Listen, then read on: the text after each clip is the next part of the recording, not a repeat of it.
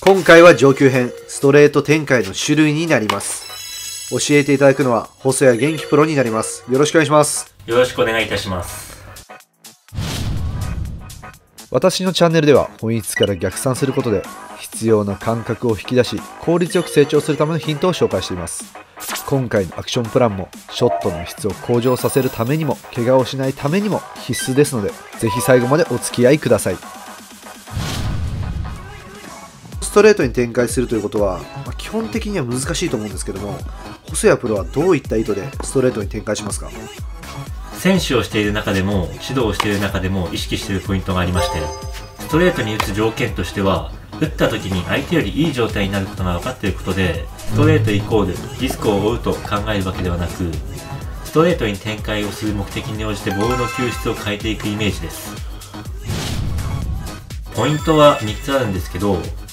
まず相手を動かしたいのか、相手を崩したいのか、それともウィナーを取りたいのかですね。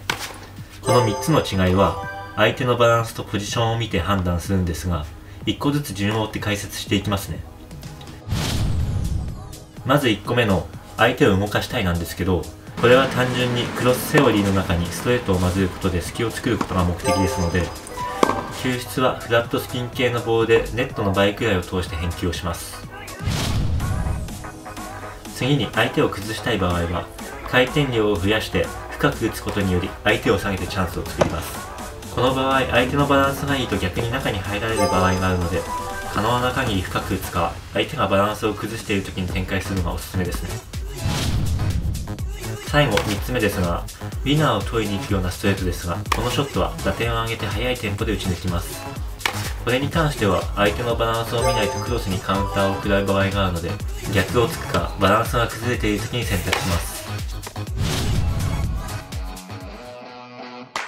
以上の3つを相手の状態に応じてストレートを使うことでより有利な展開を作ることができますのでぜひやってみてください。